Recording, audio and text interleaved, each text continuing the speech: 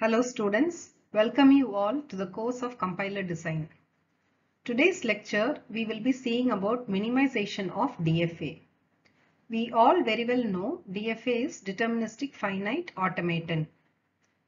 When we say minimization, we mean that we are going to reduce the number of states in the given DFA.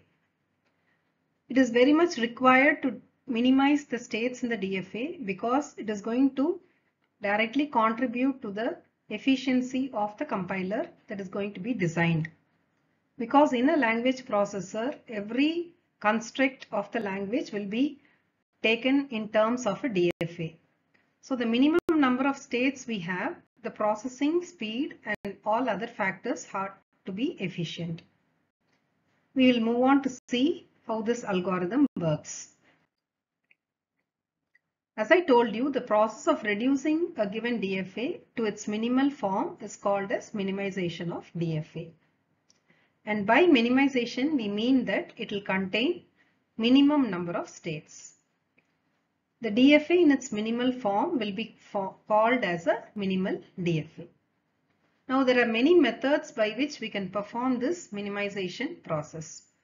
Some of the well-known methods are partitioning method, the equivalence theorem method and Myhill-Nerode theorem.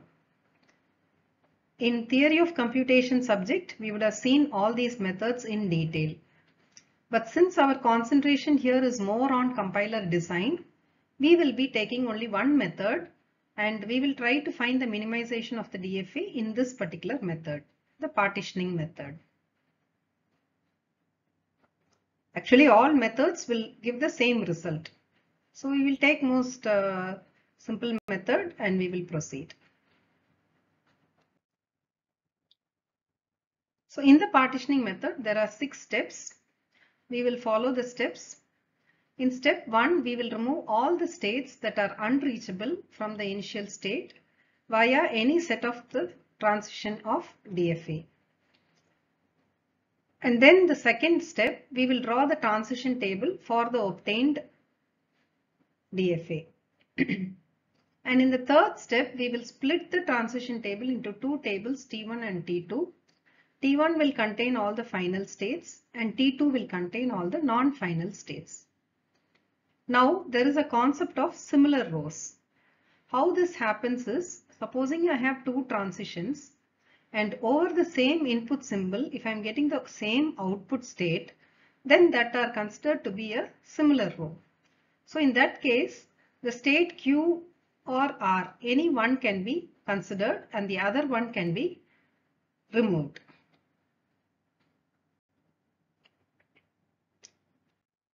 In the fifth step, we will repeat this so that we find out all the similar rows in the table T1. And then we will do the same for table T2.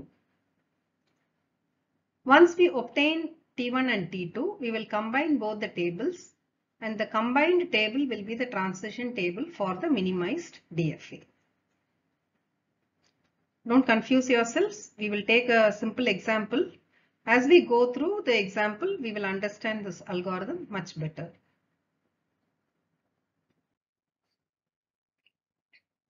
So we are given an example. The problem will be asked like this. Minimize the given DFA.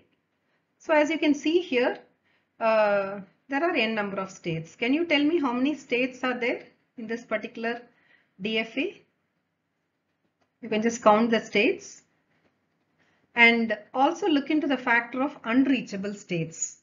We so uh, told that in the step 1 we have to find the unreachable states. So we will start with the initial state.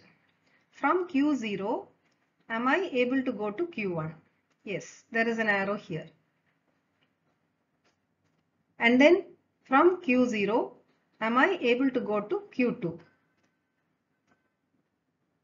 So this way I will try to find out. Can you just go through and tell me? Can you keep uh, visualizing? I want you to find out the number of states and also the number of states or whichever state which I won't be able to reach.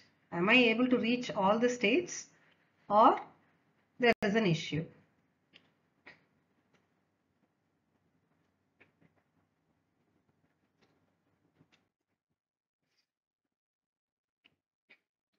Yes, I hope you found the answer. So the total number of states that are unreachable are 2. That is Q2 and Q4. Why? Because from Q0 we have an arrow to Q1.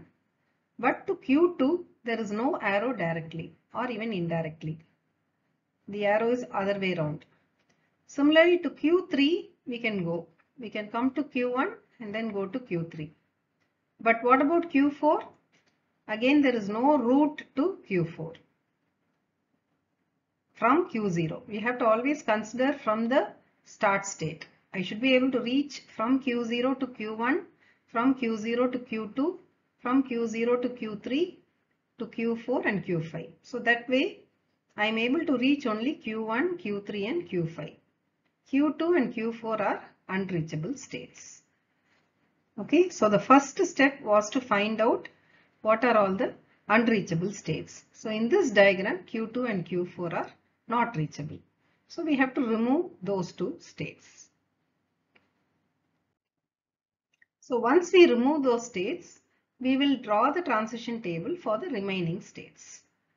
Okay, so you can refer to the diagram and then draw the transition table.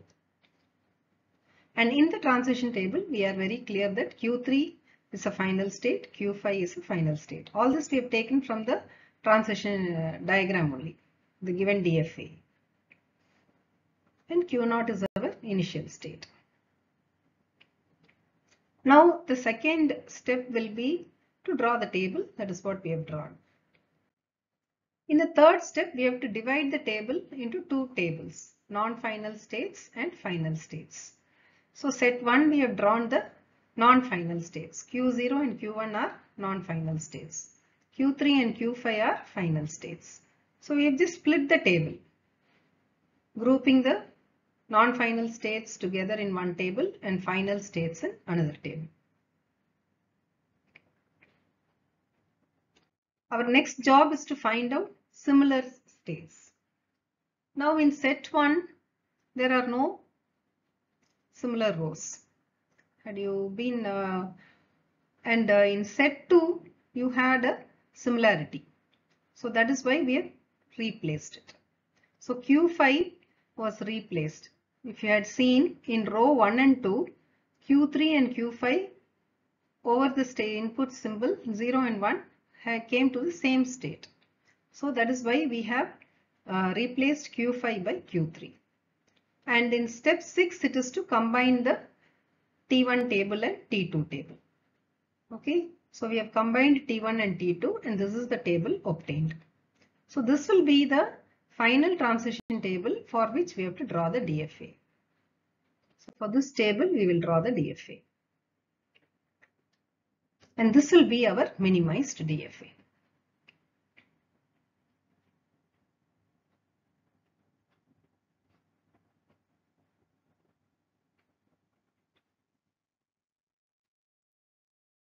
Okay students, I hope you understood the concept. In my next lecture, I will do one more problem in the same method for you to get more familiarity with the method. Thank you.